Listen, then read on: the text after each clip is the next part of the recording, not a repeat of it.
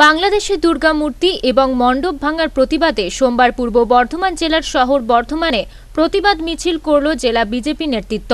মিছিলে উপস্থিত ছিলেন বিজেপির রাজ্য সহসভাপতি রাজু বন্দ্যোপাধ্যায়, জেলা বিজেপি সভাপতি অভিজিৎ দাস সহ অন্যান্য নেতৃত্ববৃন্দ। এদিন ঢলদিঘি এলাকা থেকে কার্জন গেট পর্যন্ত তারা মিছিল করে। পরে জেলাশাসকের কাছে স্মারকলিপি জমা দিতে গেলে পুলিশ বাধা দেয় বলে অভিযোগ করেন রাজু বন্দ্যোপাধ্যায়।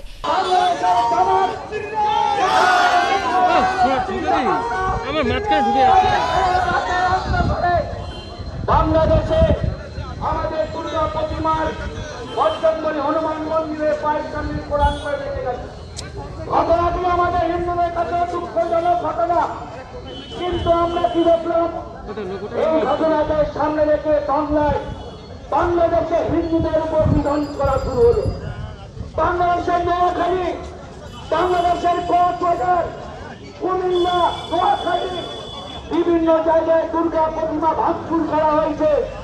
আমরা দেখলাম জানেন যে অষ্টমীর পর থেকে বাংলাদেশে যেভাবে সুপরিকল্পিতভাবে হিন্দু, বাঙালি সংখ্যালঘুদের ওপর যে আক্রমণ হয়েছে, আর তারপর দুর্গা মায়ের মূর্তি ভাঙা, ইস্কনে লুটপাট করা, ভাঙচুর করা, ভারত সেবাশ্রম রামকৃষ্ণ সেবাশ্রম সংঘ, তার সাথে সাথে হিন্দুদের ঘরবাড়ি, লুটপাট, অগ্নিসংযোগ, মা বোনেদের ইজ্জত নেওয়া, সম্পত্তি নষ্ট করা এবং সেখানে যেভাবে পাঁচজনের হত্যা করা হয়েছে, অনেককে খুঁজে পাওয়া যাচ্ছে না এখনও অনেকে হাসপাতালে ভর্তি আছে।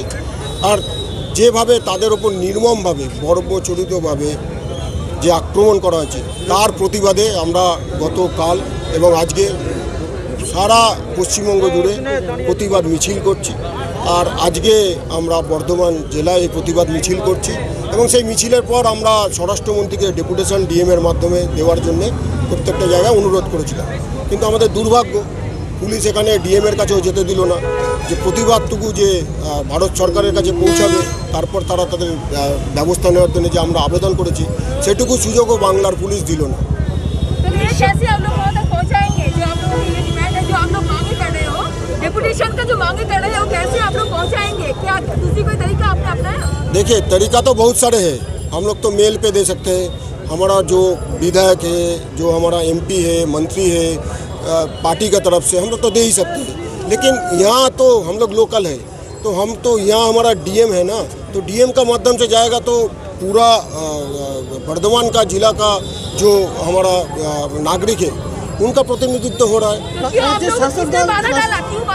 वही पता नहीं है ढाका में मिचिल हो सकता है और यहाँ पे है एक डेपुटेशन नहीं दे सकता ये तो शांत पुलिस पुलिस ने वर्धमान का पुलिस ने रोक दिया है। जाने नहीं देंगे क्या बताएँगे? उनका पास कोई कारण है? वो न बनने से जो आएगा वही करेंगे। सन्देह तो आज ममता बनार्जी बहरे गए पुलिस को आधिकारिक किस करते চার দিন ধরে বাংলাদেশ সরকার চুপচাপ হয়ে আমরা কি দেখলাম? তথাকথিত বাংলার বুদ্ধিজীবী সম্প্রদায় যারা পদায়ন করে চলে, যারা তৃণমূল কংগ্রেসের পদের টাকা মারে সেই বাংলার বুদ্ধিজীবী সম্প্রদায়, তারা কিন্তু রাস্তায় নামেনি। বাংলার মানুষের কোনো মন থাকেনি। তারা উত্তর প্রদেশের ঘটনা চিন্তিত থাকে। তারা গুজরাটের ঘটনা নিয়ে চিন্তিত থাকে। কিন্তু বাংলাদেশের আট কোটি হিন্দু এক বিপদে আমি শুরু হচ্ছি সম্পন্ন মানুষকে।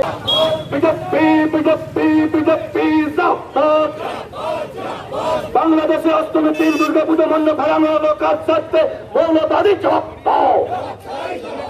বন্দে মাতরম। হিন্দু নিবন মানছি না, মানব না। হিন্দুদের সাথে বিজেপি আজকে হিন্দু জাগরণ মঞ্চ বর্ধমান জেলার পক্ষ থেকে বিগত কয়েকদিন ধরে শারদোৎসবকে কেন্দ্র করে শারদীয়া দুর্গা মহাপূজায় যেভাবে বাংলাদেশে আমাদের পার্শ্ববর্তী রাষ্ট্রে যেভাবে যে নারকীয় অত্যাচার চালানো হয়েছে দুর্গামূর্তি ভাঙচুর থেকে শুরু করে বিভিন্ন হিন্দুদের মঠ মন্দির, রাম ঠাকুরের আশ্রমকে, সমাধি মন্দিরকে যেভাবে ভেঙে ফেলা হয়েছে, ইস্কন মন্দিরকে যেভাবে ভুলুণ্ঠিত করা হয়েছে তার সমর্যাদা থেকে ইস্কনের দুজন ব্রহ্মচারীকে যেভাবে হত্যা করা হয়েছে এবং বিভিন্ন আরও নারকীয় তাণ্ডব যেটা চালানো হয়েছে তার বিরুদ্ধে বর্ধমান জেলা হিন্দু জাগরণ মঞ্চের পক্ষ থেকে আমরা মৌন মিছিলের আয়োজন করেছিলাম। এখানে উপস্থিত আছেন বর্ধমান জেলা হিন্দু জাগরণ মঞ্চের সাধারণ সম্পাদক সুদীপ্ত চক্রবর্তী।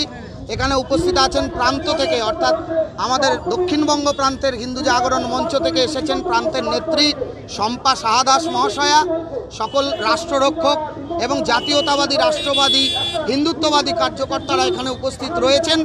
আর তাদের সাথে আমি স্বামী অম্বিকানন্দ গিরি মহারাজ এখানে উপস্থিত রয়েছি। এই মৌন মিছিলটা আমরা বীরহাটার মুখ থেকে বীরহাটার সামনে থেকে আমরা কার্জন গেট বর্ধমান অবধি বিজয়তরণ অব্দি আমরা মৌন মিছিল করেছি। এই মৌন মিছিলে আনুমানিক শতাধিক লোক ছিলেন। আমাদের পক্ষে দেখা যায়নি। যতদূর আমরা তাকিয়েছি, মানুষের মাথা এবং হিন্দুত্ববাদীদের স্বতঃস্ফূর্ত প্রতিবাদ এখানে পরিলক্ষিত হয়েছে।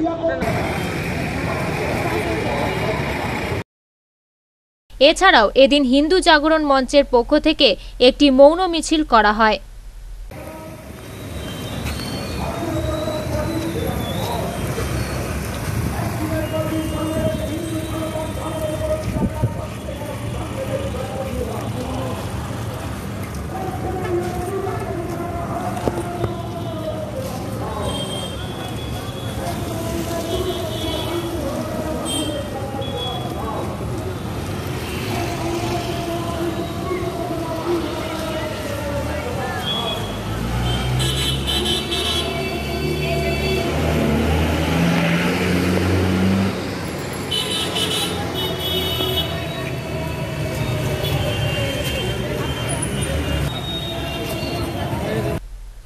বর্ধমান থেকে পিন্টু প্যাটেল ও টিঙ্কু সাওয়ের রিপোর্ট আনন্দ বার্তা।